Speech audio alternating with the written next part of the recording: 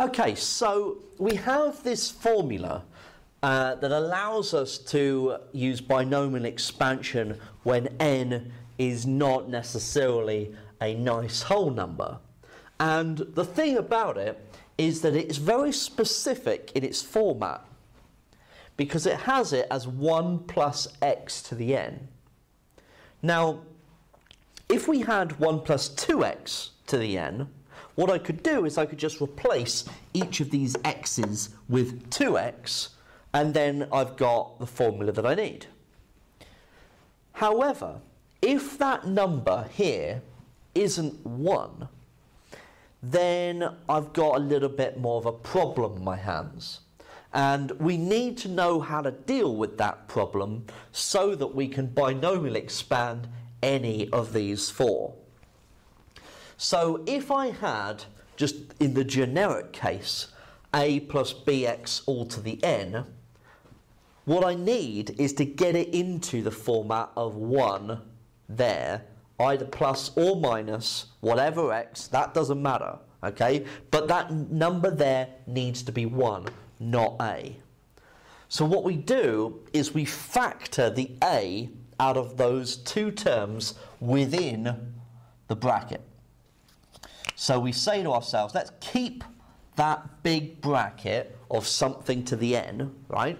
But we factor the a out of these two terms. So we would have 1, okay, because a times 1 makes a. Hence, we're getting the 1 plus well, this, factoring a out of bx, means I'd have to have b over ax, because then I've got a times b over a is just b.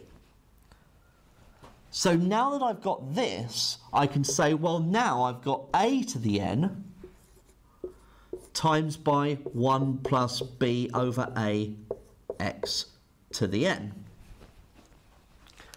And now, whatever that is, a to the n, I can just multiply my expansion of 1 plus b over ax to the n by whatever that number is. And then I've got the binomial expansion of what I need. So let's see this in action. So here we've got 2 plus 4x to the minus 1. So what I do is I factor the 2 out of the two terms within. So I'd have 1 plus 2x, and that's all to the minus 1. So now I've got 2 to the minus 1 times 1 plus 2x to the minus 1. And 2 to the minus 1 is just a half. So now all I need to do is work out what the expansion of 1 plus 2x to the minus 1 is, and then multiply all of the terms by a half and I will get the binomial expansion of my original problem. So for this next one, let's factor the 3 out of those first two terms. So 1 take away 2 thirds x to the minus 2. So we've got 3 to the minus 2 times 1 minus 2 thirds x to the minus 2. 3 to the minus 2 is just 1 over 9. So I work out what the expansion of 1 minus 2 thirds x to the minus 2 is, and then multiply all of the terms by 1 ninth. And then I've got the binomial expansion of 3 minus 2x to the minus 2. Let's try it with number 3. Factor the 4 out, the first two terms, or those two terms. So 1 minus 4x to the half. So we've got 4 to the half times 1 minus 4x to the half. And of course 4 to the half is just 2. So I'd work out what 1 minus 4x to the half is, binomial expanded, multiplied all through by 2, and I'm left with the expansion of 4 minus 16x to the half. So one last one to finish off with, 9 plus 18x to the minus 3 halves. So factor the 9 out of those two terms within the bracket. So we're going to have 9 lots of 1 plus 2x all to the power of minus 3 halves.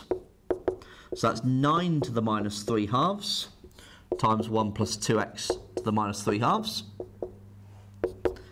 Now, what's 9 to the minus 3 halves? So that's 1 over 9 um, to the 3 halves. So 9 square root of that is 3, so it'd be 27. So 1 over 27.